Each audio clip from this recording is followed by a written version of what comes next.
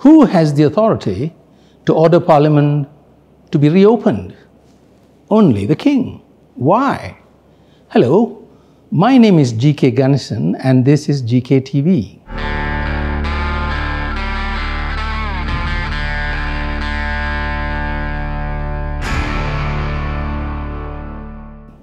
Yesterday, the king advised that parliament must be reconvened as soon as possible. Several opposing arguments were advanced against that advice. These were, and I summarize them for you. Number one, only the prime minister can order parliament to be reconvened because, according to Article 40, the king has to act in accordance with the advice of the cabinet. The second argument that as the emergency has not ended, so Parliament cannot be convened. The third argument advanced was because the emergency ordinance shut down Parliament, it would be illegal to convene Parliament. The fourth argument, as soon as possible, means when the government sets the time. All these arguments are wrong. Why? You want a simple answer? I'll give you one. A person who has the power to proclaim the emergency also has the power to end it. Second, the person who has the power to appoint a prime minister has the power to remove him. So long as in both cases the king acts in accordance with and within the constitution. Who proclaim the declaration of emergency, the king. In whose name are these emergency ordinances made? The king, of course. Who can end the emergency? The prime minister? Are you kidding me? No. But the real answer is a legal answer and it is comprised in numerous parts. The government has actually shot itself in the foot. First, under section 1, subparagraph B, Emergency Ordinance 2021, Parliament shall be summoned on a date the King thinks appropriate. And this is exactly how section 14 sounds. Parliament sitting, sub regulation 1. For so long as the emergency is in force, subparagraph A, the provisions relating to the summoning, proroguing, and dissolution of Parliament in the Federal Constitution shall not have effect. And, subparagraph B, Parliament shall be summoned, prorogued, and dissolved on a date as the Yang di Pertuan Agong thinks appropriate. There you have it all the king has to do is to appoint a date. End of story. No need to ask anybody.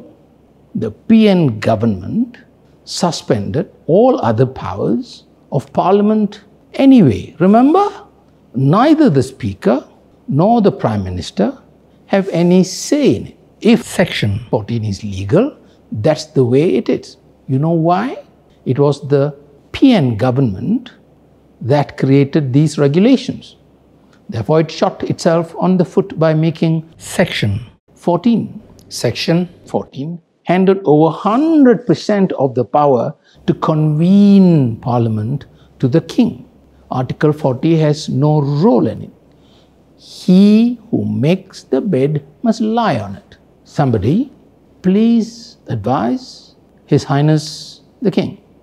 Second, the emergency ordinance is expected in constitutional theory to last only a very short time, usually a few days, for example, in the case of a war which is upon us. Then Parliament must meet swiftly and endorse the ordinances made by the emergency government. That is why these regulations are called an ordinance, because Parliament has not endorsed the ordinance as an act. The Constitution expressly requires this in Article 150, sub clause 3. The third point is The third excuse is rather as soon as possible means when the government feels like it. This argument is completely wrong. Regulation 14, subregulation 1, subregulation B of the emergency ordinance, as I said earlier, kills it. Finally, there are important reasons why Parliament must never stop working. First, Parliament is the voice of the people. That must never be stilled. If it is stilled, it means the Rakyat cannot speak.